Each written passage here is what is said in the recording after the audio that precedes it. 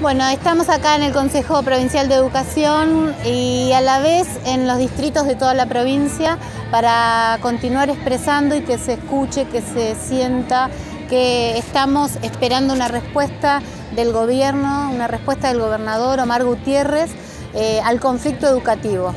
No puede ser que el gobierno no tenga nada para decir, que no convoque una instancia de diálogo donde se pueda llegar a un acuerdo, donde se pueda resolver este, este conflicto educativo.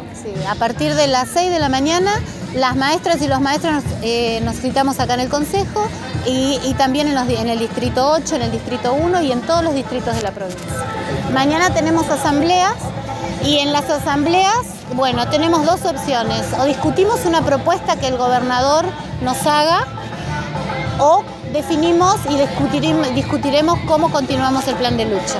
Y bueno, la verdad que es eh, vergonzoso que un presidente tenga que, que, pisar el suelo de una provincia, que tengan que vallar a metros, que no tenga contacto con, con, el pueblo, con los ciudadanos, con la gente. No, no, aparentemente no tienen nada para decir porque la, definición del gobierno nacional justamente es este, ajustar en educación. A ellos no les interesa la educación, tanto al gobierno nacional como al gobernador, al gobierno provincial. Nosotros sí hemos tenido contacto la semana pasada cuando hicimos la conferencia y expresamos que que también se lo notificamos a ellos, que hay más de 100.000 chicos sin clases en toda la provincia y nos preocupa. Entonces, como parte del cuerpo colegiado del Consejo Provincial de Educación, no podemos funcionar y sesionar como si nada estuviera pasando.